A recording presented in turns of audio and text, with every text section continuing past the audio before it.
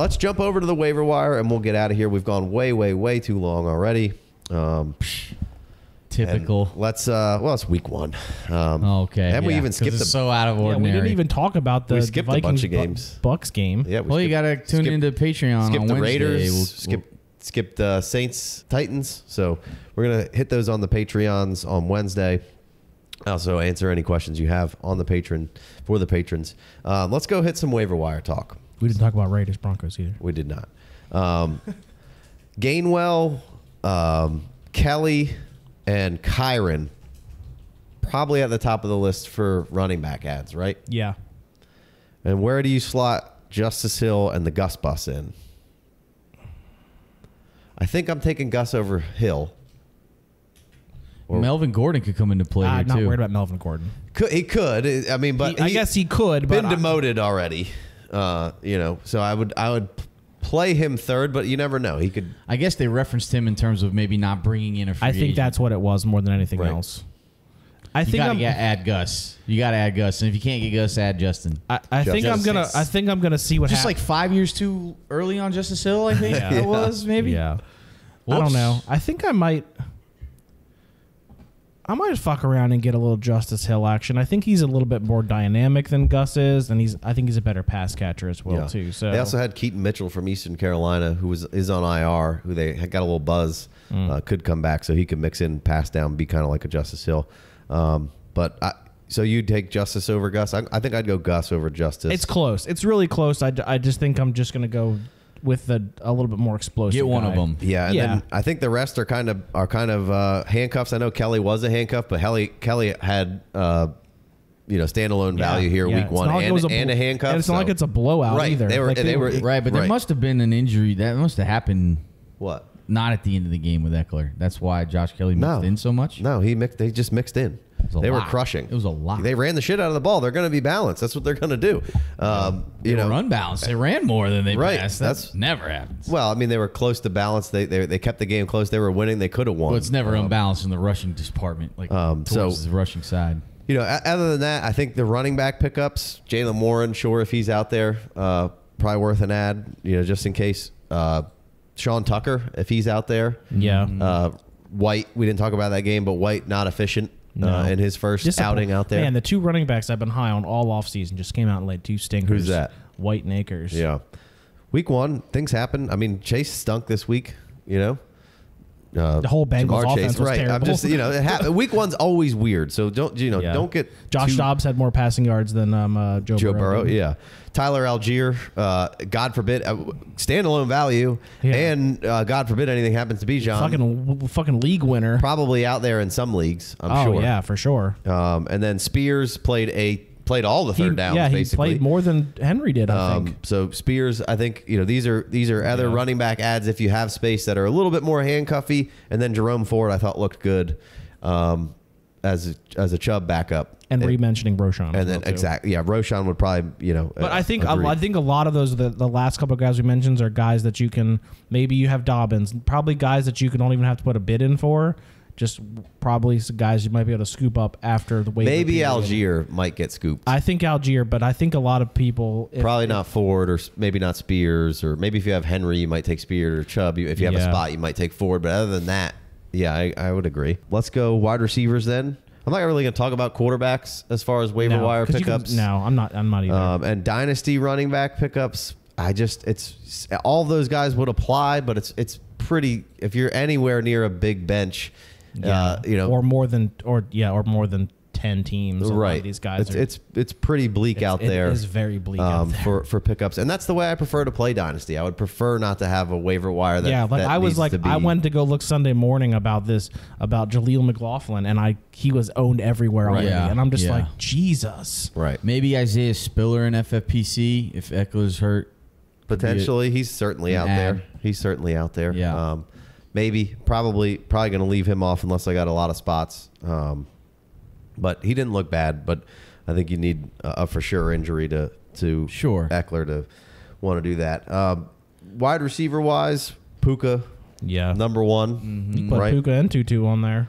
Puka, I'd put Puka ahead of Tutu, but yeah, oh for sure, yeah. Zay Jones, We talked about it with Christian Kirk. Yeah, you ha- almost Playing, have to. playing all the two wide receiver sets for the most part. Had a nice touchdown. I don't know if it'll last, but a lot, a lot of three wide receiver leagues out there, Mm-hmm. um, where he, he might be a guy that you'd stick on there. Bobby Woods, Yep. um, I think is a nice ad. Uh, Slayton played a ton of snaps. I know it didn't go well for the Giants, but he played a lot of snaps. He's super. That's a deeper league uh, kind of ad there. But if Romeo Doubs is out there for any reason, uh, I think you got to add him. Yeah, you guys Um, mentioned before we got on Jakobi as well too. Jakobi He's a late round Meyers. guy. Obviously, he's got the. Obviously, he's, he's got he got his bell rung. So, Mm-hmm. but he was having a huge game. Yeah, I mean redraft edition for sure. Oh, Lil Jordan Humphreys and uh, who's the other guy for the Broncos who played over Mims a bunch? Uh, we didn't talk about that game, uh, but maybe those guys could be dynasty just- ads if you if you were right trying here. to find uh, some dynasty Uh, ads. Brandon Mar- Johnson. Brandon Johnson, DeMario Douglas, nice Douglas dynasty for ad. sure. Yeah. And Even- Kendrick even- Bourne is That's a probably- dynasty ad. right? Douglas. And Kendrick Bourne's probably available. Yeah, in he's dynasty. he's available in some dynasties, I'm sure.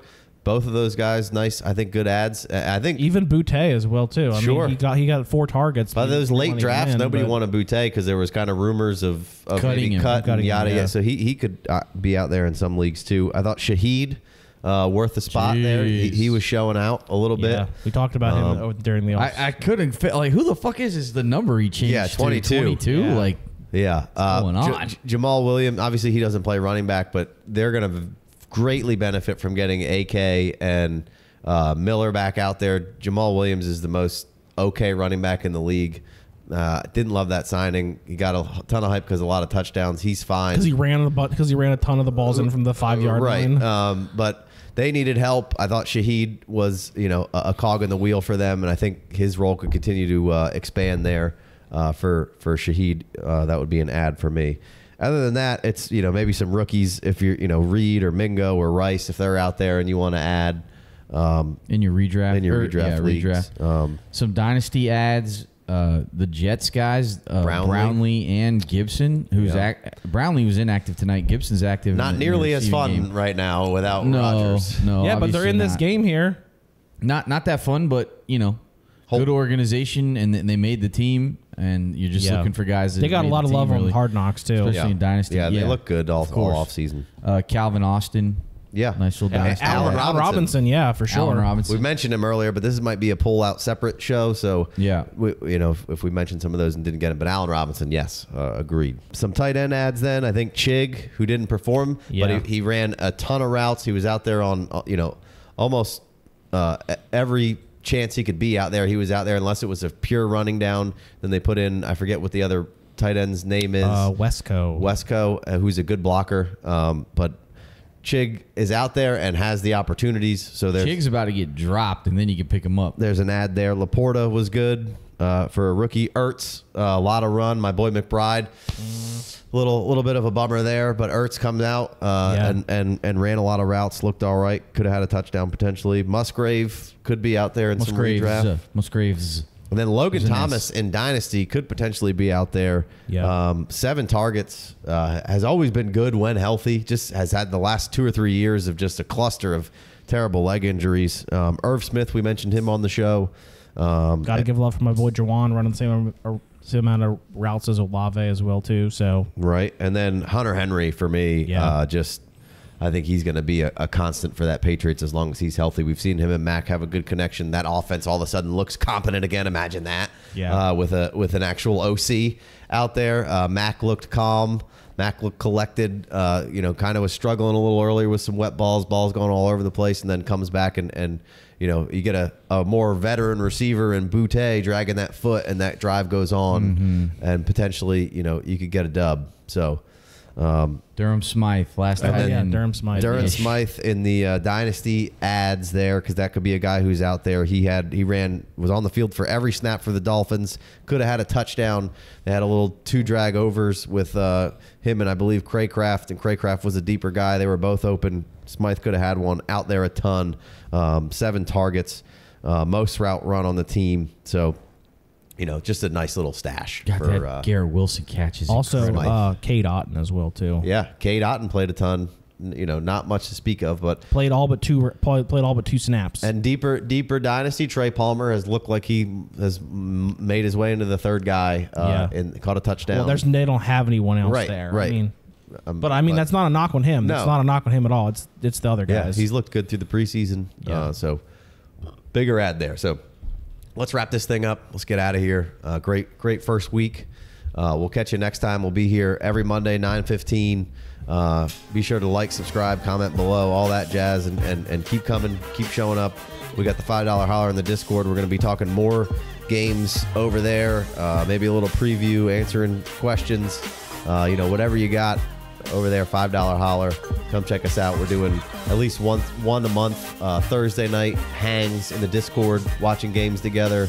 You get access to the Discord. You get access uh, to some rankings. We're going to be updating those all season long, um, as rookie and um, dynasty. And then, as we talked about with the schedule, uh, we got a we got a nice little planned out for the next four or five weeks, and then we'll be kind of repeating all that stuff a few times uh, in the off season. So we appreciate you. Good to have Matt here. No big D this week. Uh, I don't know if we'll catch him next week. I think we might have maybe Austin Abbott uh, in next week, and, and, and maybe Matt back if if uh, if uh, if he's here. So uh, appreciate you guys, and we'll catch you on on week two. Peace.